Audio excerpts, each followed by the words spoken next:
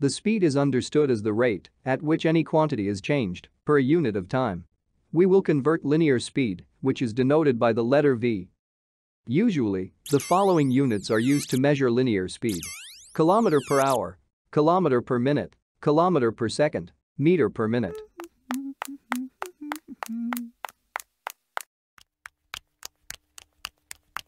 In the SI system, the unit of speed is a meter per second.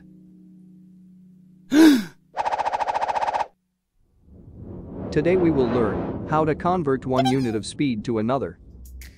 Note that the name of the unit of speed is written as a fraction.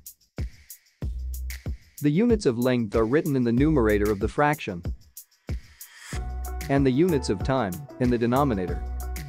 Therefore when converting, given number must be multiplied by a fraction. Units of length are converted in its numerator and units of time in its denominator. Let's try to convert with some examples. Convert 72 kilometers per hour into meters per second. The number 72 must be multiplied by a fraction. In its numerator we'll convert kilometers into meters, multiplying by 10 to the third power. And in its denominator, we'll convert hours into seconds.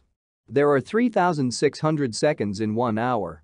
With just a little bit of calculations, we get 20 meters per second. We didn't explain this example in detail, it is suitable for those who are already fluent in converting for example, seconds into hours or meters into kilometers. If you have any troubles understanding this example, do watch episodes 3 and 6. Firstly, learn how to convert units of length, then units of time, and then move on to speed conversions. No task, no problems. Where's your top dog? It's so unusually quiet today. He ran for the tables as you said to watch two episodes once more. Why did you decide to switch from my personal life to studies? I'm so pleasantly surprised. It's too early for you to be surprised. Sit down and roll. I'm sorry, what? Roll flowers from these papers to surprise you, lady. I've already prepared a couple of them. Fortunately, we managed to shoot these tables in the last episodes. By the way, if thanks to Hiccupy they are in such a poor condition, let us show you that it's possible to convert units of length, not only by that tables. You can also use a chain similar to the time unit conversion chain. Look here. Remember that when you convert in the same direction as the arrows show, you multiply by upper factors. And if you convert in the opposite direction, then multiply by lower factors. Let's start converting units of speed with these wonderful chains. That's the romantic tone that you must use when talking to the system. And you are both silent all the time. It's so funny to watch. Stop telling me what to do. According to the first rule, we will convert units of speed in the same direction as the arrows show. 0.5 kilometers per second will be converted to the SI system. That is to meters per second. To do this, kilometers must be converted to meters. 0.5 times 10 to the third power. Time is already given in seconds, so there is no need to convert it. We calculate and get 500 meters per second.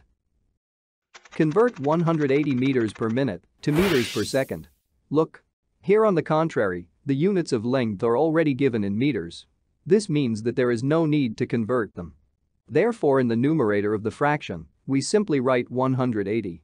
And in the denominator, we convert minutes into seconds. There are 60 seconds in 1 minute. After calculations, we get the answer. 3 meters per second. Let's convert 120 kilometers per minute to meters per second. In the numerator of the fraction we need to convert kilometers to meters. And in the denominator, minutes to seconds. We multiply 120 by 10 to the third power. And we put 60 in the denominator. Let's simplify the fraction and do some calculations. We get 2 times 10 to the third power. The answer can be written in this form, or you can calculate further and write down 2000 meters per second. Rule number 2. We will convert against the arrow from SI system to other units of speed. Let's say you need to convert 100 meters per second to kilometers per hour. In the numerator of the fraction, we will convert meters to kilometers. And in the denominator, seconds to hours. 100 must be multiplied by 10 to the negative third power. Take a look at the time chain. A second equals 1 over 3600 hours. So we write it down in the denominator of the fraction.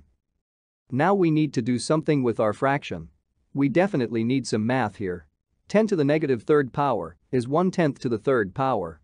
Therefore 10 to the negative third power goes from the numerator to the denominator, but already with a positive exponent.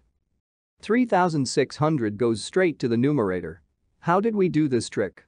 Let's recall that to divide fractions, you need to multiply the first fraction by the reciprocal of the second fraction. In other words, you simply need to turn the second fraction upside down. After simplifying, we get 360 kilometers per hour. Let's convert 30 meters per second to kilometers per hour. 30 is multiplied by 10 to the negative third power and divided by 1 over 3600. We simplify a bit, calculate and get 108 kilometers per hour. Now let's convert 600 meters per second to kilometers per minute. To do this, in the numerator of the fraction, meters need to be converted to kilometers. That is why we multiply by 10 to the negative third power. And in the denominator, seconds need to be converted into minutes. Recall that a second equals 1 over 60 of a minute. We do some magic and get 36 kilometers per minute. 5 meters per second are to be converted to meters per minute. Fortunately, there is no need to convert meters here. In the denominator, we convert seconds into minutes. That is 1 over 60. 60 goes straight to the numerator. We calculate and get 300 meters per minute. 2000 meters per second needs to be converted to kilometers per second. We will convert meters to kilometers. Multiply 2000 by 10 to the negative third power. There is no need to convert seconds, so we get an answer right away. 2 kilometers per second. This is it. Now do try to convert by yourself. The answers as you already know can be found by the link in the description. Good luck. See you in the next episode.